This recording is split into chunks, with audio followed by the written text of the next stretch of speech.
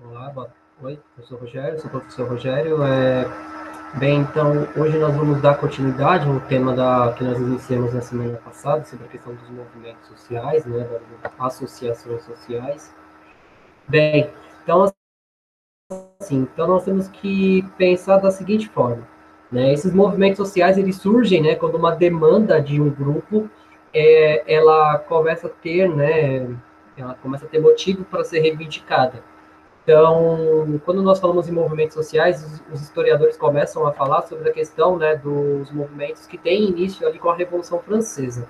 E como é que esses movimentos eles vão ganhando força né, com a industrialização, os movimentos sindicais, entre outros movimentos, né, que vai dar a base né, para a sua organização e a sua consolidação. Mas quando a gente fala em movimentos sociais, né, então ele fica incluso, né, em várias em vários aspectos, né, que tem a ver com a questão de pessoas que estão excluídas em uma em uma determinada parte, né, de seus direitos, né, que o Estado deveria garantir, né? Então, partindo dessa visão, então nós temos né, essa essa ampliação.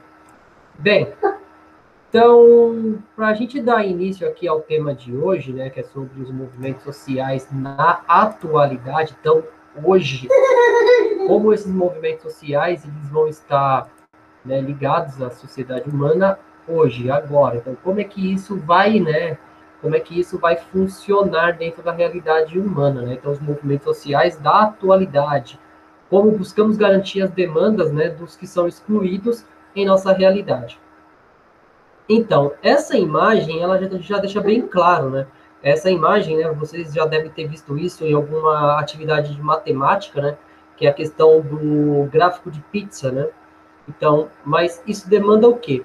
Que como é que funciona a sociedade humana, né? A sociedade humana ela é diversa, ela tem várias etnias, várias culturas, né, vários elementos, várias características, né, que vão formar essa, né, essa grandiosa sociedade, essa grande é, essa grande noção né, de pertencimento que nós temos né, como raça humana.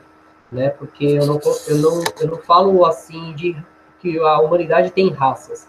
Eu coloco que a humanidade é uma raça. Então, todos, independentemente do seu, né, da sua cor de pele ou características físicas, todos nós fazemos parte de uma apenas de uma espécie, que é a espécie humana.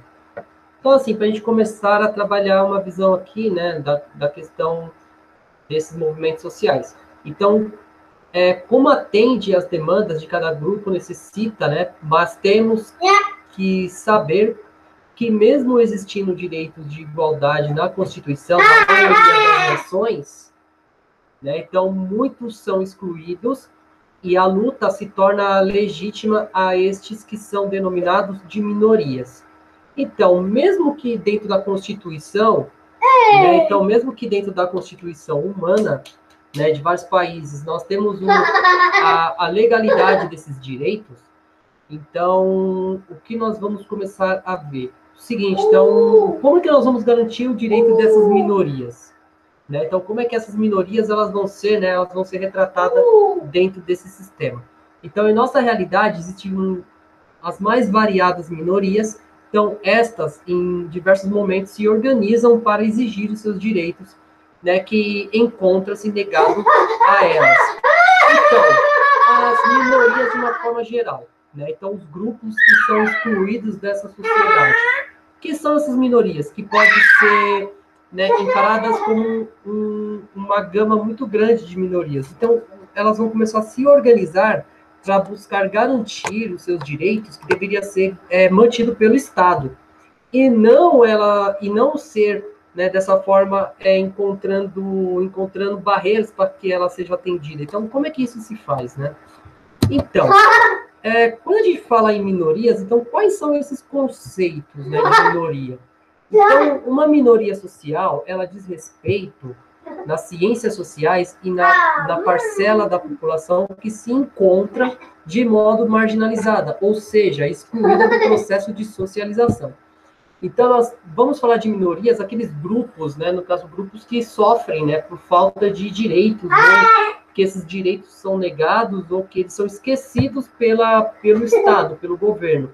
Então o governo ele vai, né, ele vai fazer com que esses grupos não sejam atendidos em sua em sua plena em sua plenitude, né, de direitos.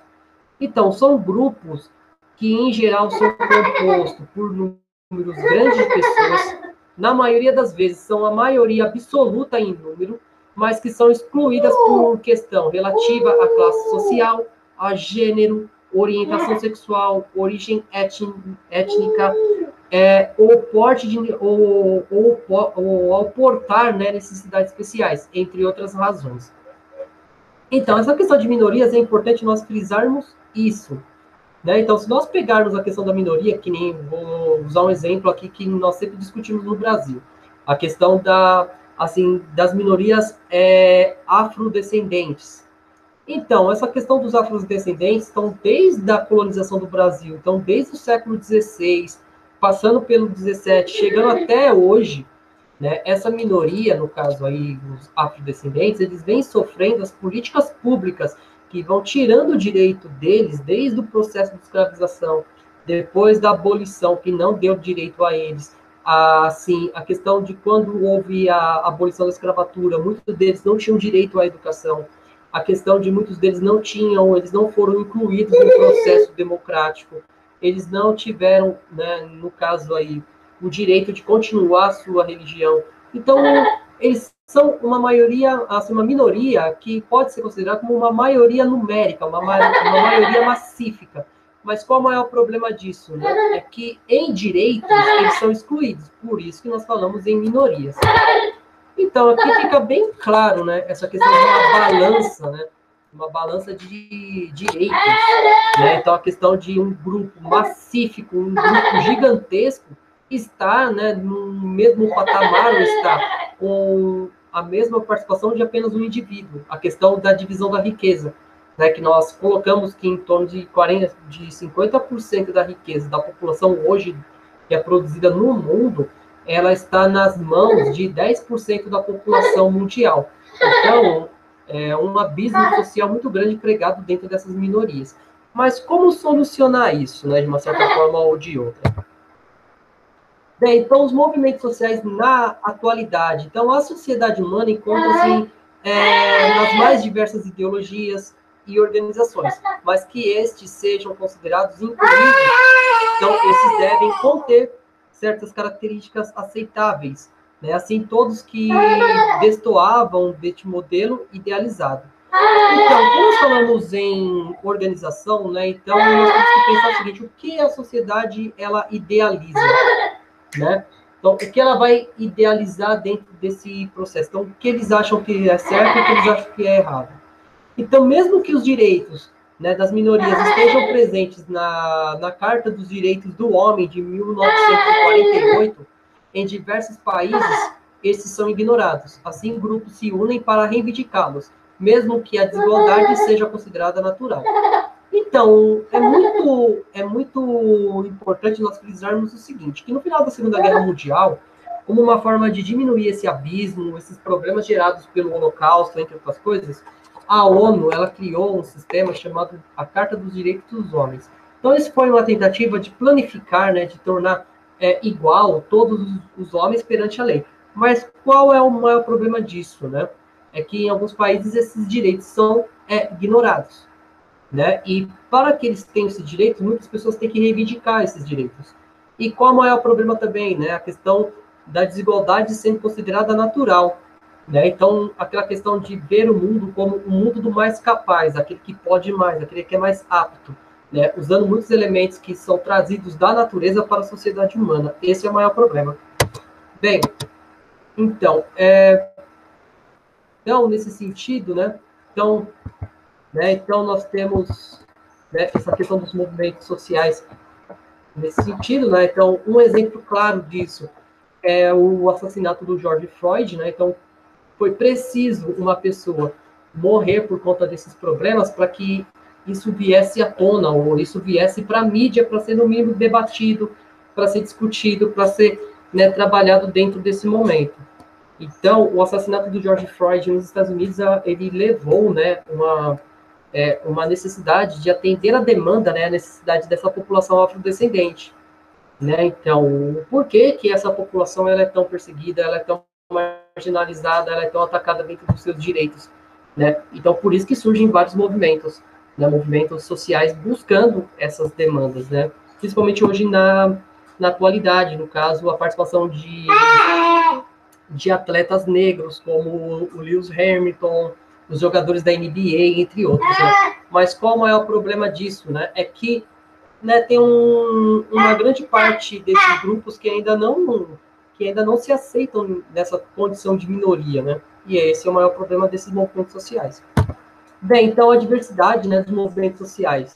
Então, a, a maior dificuldade de se compreender as mais variadas demandas é sua pluralidade, além das visões preconceituosas desses grupos de é, sobre esses grupos, né, de excluídos, né? Então, a questão de existir várias, né, vários tipos, né, de, de minorias, de demandas, de necessidade, de busca.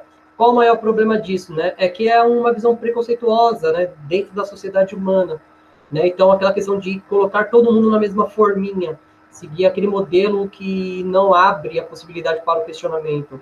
Então, e isso vem sendo transmitido de geração em geração, e isso é um problema para nós entendermos melhor esses movimentos sociais na atualidade. Então, as demandas podem ser de cunho de gênero, de é, étnicas, né, dos que são atingidos por doenças ou síndromes, né, então a, a preservação da natureza e da proteção dos animais. Então, não é apenas uma questão de movimentos sociais voltados para é, o homem em si, porque nós fazemos parte de um grupo maior que é um ecossistema que engloba todo o planeta. Então, se nós não encararmos essas demandas como demandas sérias, né, a, a, vida do planeta, de uma forma geral, ela está né, em sérios riscos dentro desse contexto. Então, a questão também né, do, dos que não podem né, lutar né, contra esse, essa forma de exclusão, que são aqueles que são portadores de doenças, né, né aqueles que são né, que, que, de uma certa forma ou de outra, elas, elas são atingidas por doenças, por síndromes, que vão né, tirar a, a, capacidade desses de lutarem pelos seus, né, pelos seus direitos. Então, aqui nós temos uma, assim, alguns relatos, né, alguns tipos de, né, de grupos que são considerados como minorias e que precisam ser atendidas né, por essas demandas.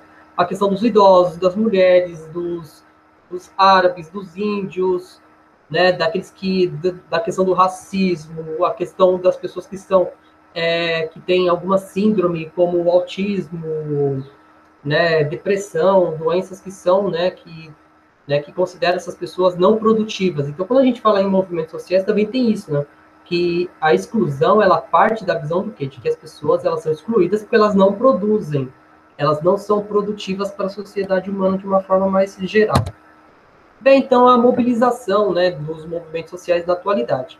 Então, no início do movimento sociais, né, então lá durante aquelas, aqueles primeiros movimentos, essa mobilização era realizada por meio de folhetos clandestinos, né, mas, na, mas a maioria era por meio dos discursos em praça pública.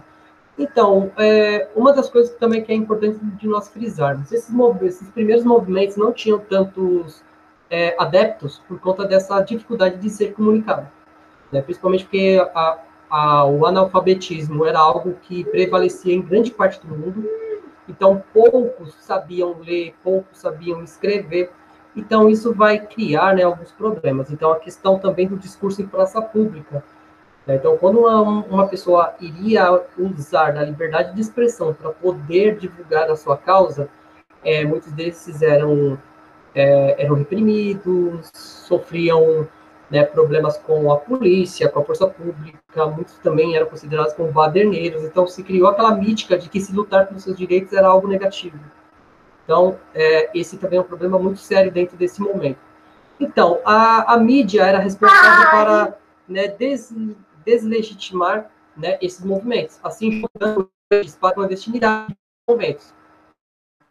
Então, quando nós falamos em, principalmente essa questão da mídia, né? Quando eu falo mídia, porque a mídia está muito ligada à questão de televisão, mas tudo aquilo que circula a informação também é parte da mídia. Então, e a mídia, ela tem um papel fundamental, principalmente na construção de, né, de estereótipos, né? A questão de imagens, de propaganda, de rótulos. Então, tudo aquilo que seja contra ao, aqueles que financiam essa mídia, deve ser combatido, segundo os interesses dele, levando em consideração isso. Então, com o advento da internet após os anos de 1990, né, então os movimentos sociais ganham novas formas de ser divulgadas e assim sua mobilização. Então, a internet ela veio de uma certa forma ou de outra para democratizar a, a circulação de informação, mas né, isso vai levar as causas a quase todos né, que se interessam por, pelo assunto, mas também né, a, a internet ultimamente ela anda, ela anda funcionando como um instrumento de desinformação.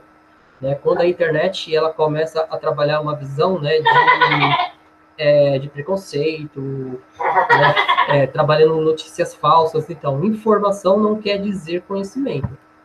Né? Então, isso também é um problema muito sério. Então, a perseguição desses movimentos sociais. Né? Então, na história dos movimentos sociais, em muitos momentos são perseguidos né, por quem controlava os, os privilégios, como essas organizações buscavam diminuir este abismo então, essa questão de perseguição, né? Então, normalmente, aqueles que buscam né, romper com aquele estigma, com aquela permanência, com a organização que era imposta a eles, eles são considerados como é, pessoas que estão à margem da sociedade. Então, essas pessoas, muitas vezes, elas são combatidas. E quando elas se tornam combatidas, então, isso vai fazer com que né, esses movimentos sejam prejudicados. Então, a questão né, de criar rótulos, aquilo que eu sempre vou bater nessa tecla, rótulos. Né? Então, a questão de que um grupo ele é prejudicado por conta da natureza, né? a questão de um determinismo, né? de que determina que aquele grupo ele está ali é por conta de, de algo natural e não algo social. Né? Então, esse é um problema sério também. Então, em diversos momentos, seus membros foram considerados perigosos né, para a sociedade. O discurso é ampliado pela mídia e ganhando diversos adeptos né, desse discurso da mídia, mesmo que esses sejam parte da minoria. Então, é, se nós formos levar em consideração, né, então é muito normal muitas vezes, né, muito normal muitas vezes, é normal, às vezes, a nós, é, em algumas pesquisas, né, de opinião, ver que pessoas que fazem parte de grupos de minorias, que nem negros, é, entre outras minorias, que sejam, né, é, que aceitam né, esse discurso né, de que isso é comum, né, porque o discurso ele vem tão, ele é tão convincente, ele é tão repetitivo, ele é tão orquestrado que muitas vezes isso vai fazendo parte da natureza do homem. Então isso vai gerar dentro do, do imaginário das pessoas que essa perseguição ela é comum. Então, com a internet, muitos líderes dos movimentos sociais são atacados por conta da, né, de desmoralizá-los, né, por meio de mentiras ou outros argumentos. Então, aquilo que, nós, que eu coloquei no último slide no, no final. Então, a internet, no primeiro momento, ela surge como uma forma de democratização do, dos movimentos sociais, né, de trazer, né, de buscar é, atender a demanda de você poder é, circular essas informações para o máximo de pessoas possíveis, mas que em algum momento isso também é problemático porque vai começar a ter grupos que vão atacar esses, esses líderes, né? Então, no caso, buscando, né, é, discursos antigos, buscando formas de prejudicar o movimento com discursos falaciosos, com discursos mentirosos dentro dessa realidade. Então, a questão da perseguição, né? Então, nós vemos que alguns movimentos, né? alguns movimentos é, retrógrados que, que vão usar da força né, para poder barrar esses movimentos, né, esses movimentos sociais que, que buscam nada mais do que o cumprimento dos seus direitos. Né? Então, a execução das medidas socio, né, socio-igualitárias, entre outros.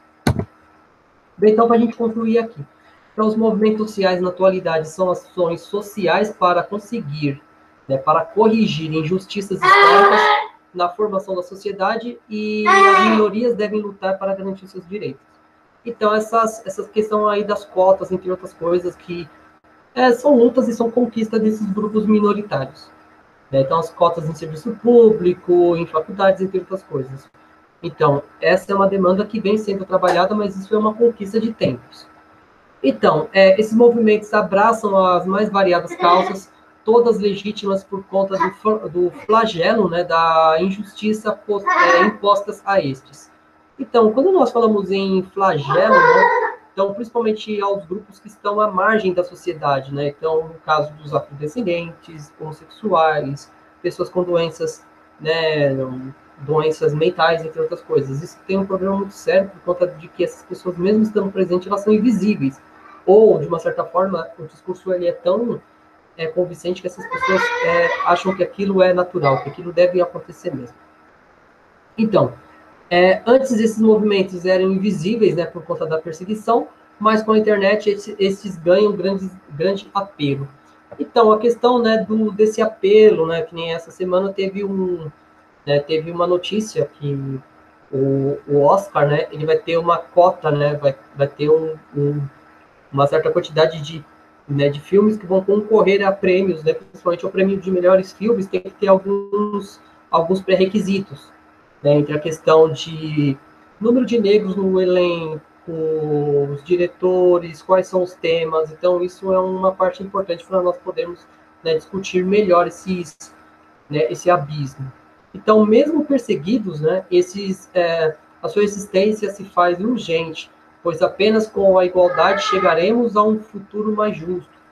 Então, a questão de que os movimentos sociais, eles mesmo sendo perseguidos, mesmo com todos os problemas, então é importante que eles continuem agindo, porque né, só assim nós conseguiremos né, chegar a um futuro mais justo, um, um futuro mais saudável para a sociedade humana e também para os outros para os outros seres vivos que vivem no planeta, levando em consideração que nós, nós estamos passando por um momento muito sério, ecologicamente falando. Né? Então, essa imagem fica bem clara a questão, assim, de como é que isso, né, como é que os, né, o, as minorias, elas, elas sofrem, né, então, e só tem um jeito de mudar isso, é se unindo, né, buscando união, fraternidade entre os grupos para que esse problema ele seja solucionado, ou ele seja, né, de uma vez por todas, né, entre, no, entre na pauta da discussão, né, da implementação, né, dentro dos governos, dentro, do, dentro dos sistemas. Ah, então, né, então eu, eu acredito, né, né, eu acredito que, né, que seja isso, né, para a nossa discussão sobre o tema de hoje. Né? Então, a questão do, dos grupos, das mais, das mais variadas demandas, da importância dos movimentos sociais hoje, é, levando em consideração que toda luta por direito é digna, né? ela, é, ela é válida e que assim, né? se, nós não, se nós não olhar para o outro né, com um pouco de empatia, né, nós não conseguiremos né, chegar a ponto nenhum. Lembrando que todos os movimentos sociais, todas as demandas, todas, todas as reivindicações, em algum momento, mesmo que nós não estejamos participando ou sofrendo essas exclusões hoje, em qualquer momento isso não quer dizer que nós não venhamos a precisar dessa, né, desse sistema aí. Bem, então eu acredito que tenha sido isso. Né, espero né, que tenha ficado claro. Né? Agradeço a todos pela, pela atenção, pela confiança e até mais. Até a próxima. Obrigado.